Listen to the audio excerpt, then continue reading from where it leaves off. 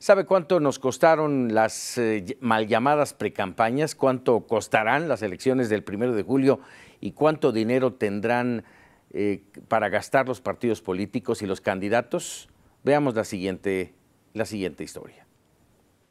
En los 59 días que duraron las precampañas electorales, los contendientes a la presidencia reportaron gastos por 35 millones de pesos e ingresos por 26 millones, de acuerdo con el Instituto Nacional Electoral. El precandidato que más gastos reportó fue José Antonio Mid de la coalición Todos por México, con 17 millones 982 mil 19 pesos. Ricardo Anaya, por la Alianza por México al frente, desembolsó 12 millones 956 mil 734 pesos, en tanto que Andrés Manuel López Obrador de la coalición Juntos Haremos Historia reportó gastos por 4.433.869 pesos. El INE estableció que para la precampaña los aspirantes no podrían rebasar los 67.222.417 pesos de gastos de manera individual. En cuanto al número de eventos realizados, entre los tres aspirantes registraron 305 actos públicos en sus agendas. López Obrador fue el más activo con 156, seguido por Ricardo Anaya con 76 y Mid con con 73 eventos reportados al INE. Cabe mencionar que los precandidatos que rebasen el tope de gastos establecidos serán sancionados con la cancelación de su registro o, en su caso, con la pérdida de la candidatura. El periodo de pre-campaña inició el 11 de febrero y concluyó el domingo pasado, en tanto que las campañas iniciarán el 29 de abril y concluirán el 27 de junio para dar paso a un periodo de tres días de veda electoral. Respecto al costo de las campañas electorales, se destinaron 2.148 millones de pesos. El PRI tendrá más dinero para sus campañas con 547 millones. El PAN alcanzará 413 millones, mientras que el PRD se queda con la tercera rebanada más grande del pastel con 248 millones. En tanto, Morena tendrá presupuestados 207 millones de pesos